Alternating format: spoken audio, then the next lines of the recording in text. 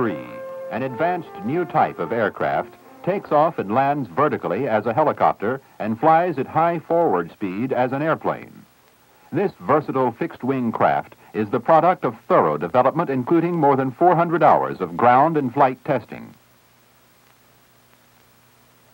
Except for its large convertible prop rotors, this unique aircraft is constructed as a conventional airplane. The 23-foot diameter prop rotors provide efficient vertical lift at low speeds and forward propulsion at high speeds. The engine is centrally located in the fuselage with power transmitted to the prop rotors by drive shafts inside the wing.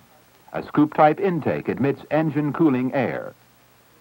The skid landing gear has four small solid wheels mounted inside the skids for rolling takeoffs. Single-axis swash plates introduce cyclic and collective control to the two-bladed, semi-rigid prop rotors.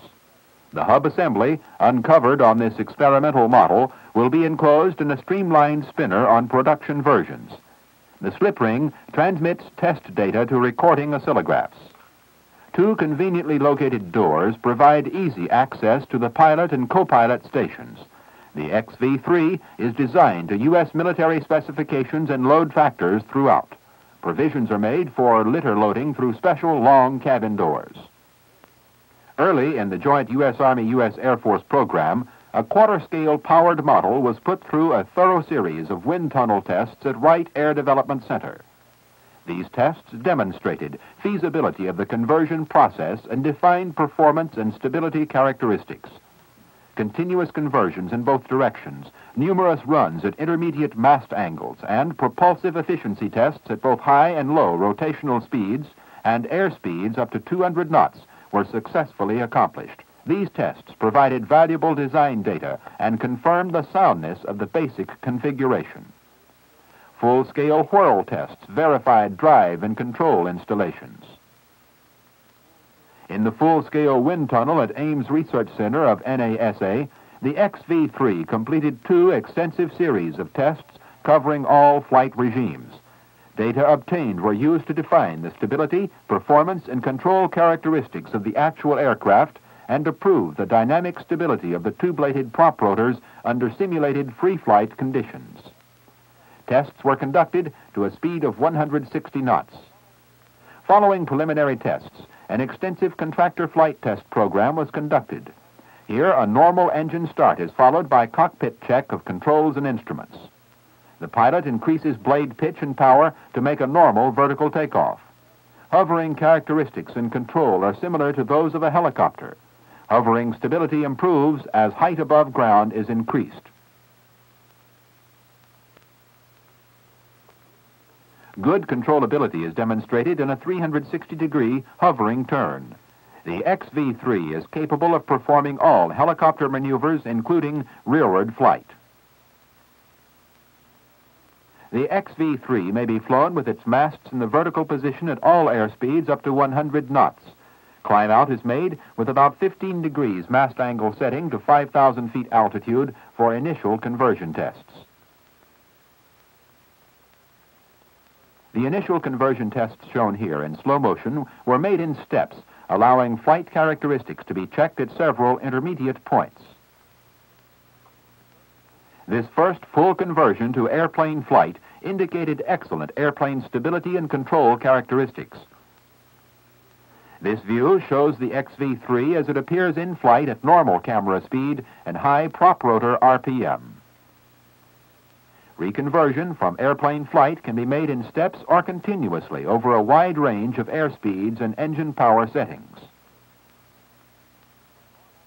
On normal VTOL missions, a helicopter-type approach and landing are made. One advantage of the low disk loading of the XV-3 is indicated by the absence of blowing dust and debris during the latter part of its approach over an unprepared area. This aircraft configuration affords agility and maneuverability for operation into and out of confined areas that is unmatched by any other VTOL aircraft type. As shown here, rearward and sideward flight are easily accomplished.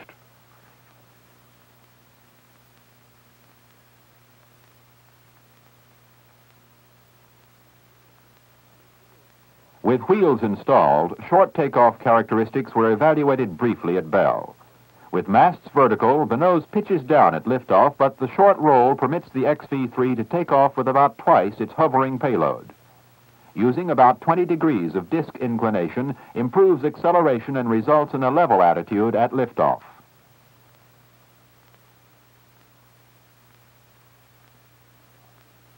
On completion of contractor flight tests, the XV-3 went to Edwards Air Force Base for evaluation by the Air Force Flight Test Center. Here, Major Robert Ferry, Air Force project pilot, prepares to take off for a typical one-hour test flight. Rolling takeoffs and landings during most of the Air Force program permitted greater fuel and instrumentation loads. Climb performance was measured over the complete range of mast angles up to 45 degrees. An angle of 30 degrees was found to be optimum with a maximum rate of climb of over 1,500 feet per minute. This is nearly double the rate obtained with masts vertical.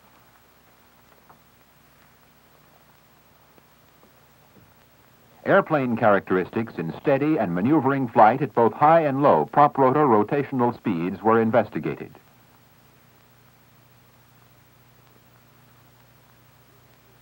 This maneuver is being performed at low RPM, which is provided by the two-speed transmission for high propulsive efficiency in cruise flight.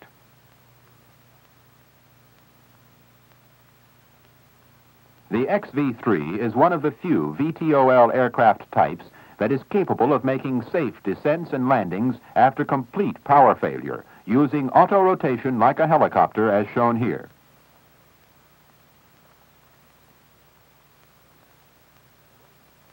Rolling landings utilizing the small wheels mounted inside the skid are often used following test flights. Although there is no braking system, rapid deceleration is accomplished easily by applying aft cyclic control. The XV-3 was flown to Bakersfield, California for special Air Force tests of its short takeoff and landing performance. These were conducted at several mast angles. Preliminary tests included a full auto-rotation landing. A typical takeoff uses a short ground roll, liftoff, and acceleration to 30 knots at low altitude, and a steep climb out to clear the imaginary 50-foot high obstacle. Large rubber wheels were used to improve ground roll. Here, a steep approach followed by a landing on an unused taxi strip covered with layers of dust and gravel again demonstrates the advantages of low disk loading in field-type operations. Distances to clear a 50-foot obstacle were recorded using a Fairchild camera on a previously surveyed course.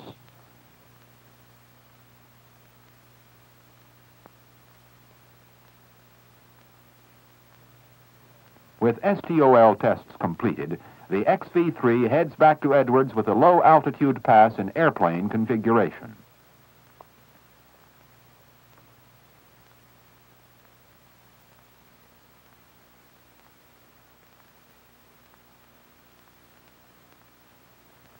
During the flight over the mountains between Edwards and Bakersfield, the first cross-country flight to be made by any VTOL aircraft, conversion and maneuvering characteristics were checked in detail. In spite of gusty air over the mountains, as indicated by disturbances to the photographic airplane, the XV-3 successfully completed severe maneuvers in airplane flight as well as at intermediate conversion angles as shown here. This unique ability to operate over a wide airspeed and mast angle range with excellent stability and control gives the pilot desirable flexibility in the performance of a military mission where his attention may be diverted during critical phases of the approach to an objective. On the XV-3 type, the absence of auxiliary control or propulsion units that are used only in one flight condition and otherwise are carried along as dead weight results in efficient operation throughout all flight regimes. Conversions can be made without difficulty even during maneuvers such as rolls, turns, and pull-ups. During evaluation tests, six different pilots have made about 75 full conversions in the XV-3 under every conceivable condition. Unusually low vibration levels were measured in steady and maneuvering flight up to the maximum speed obtained in a dive of 160 knots.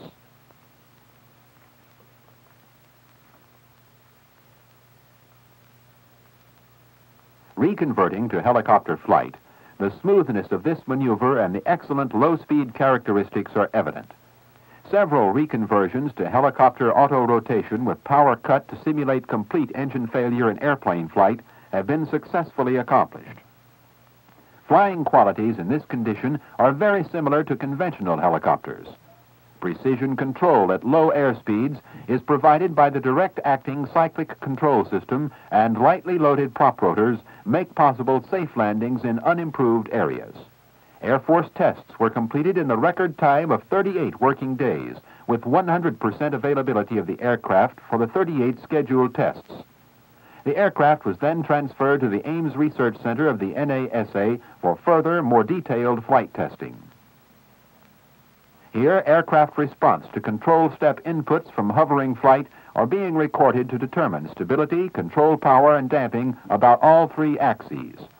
The proven reliability of the XV-3 design has made possible its successful operation and maintenance by NASA personnel during this program without contractor assistance.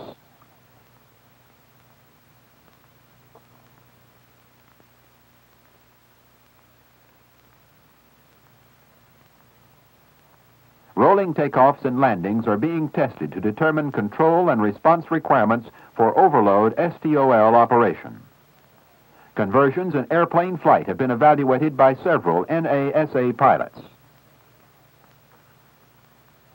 This approach, while reconverting during a turn into the landing pattern, demonstrates the operational flexibility of this proven configuration. The Bell XV-3 is the first of a new breed of practical, useful aircraft which successfully combined the helicopter's vertical takeoff with the airplane's high-speed, long-range performance.